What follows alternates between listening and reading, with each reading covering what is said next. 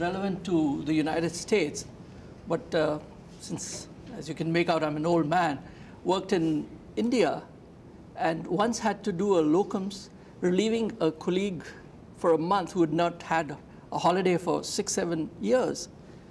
And uh, it turned out that that small village where we were working uh, got electricity only for five or six hours.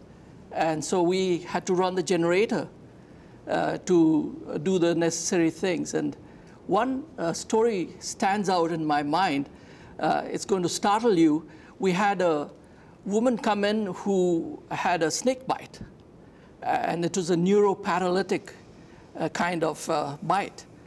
And she was almost not breathing, and we, uh, we didn't have any electricity, no respirators. We intubated her, and we had the relatives bag her for 24 hours and more, and she got the poison through, and she came out of it.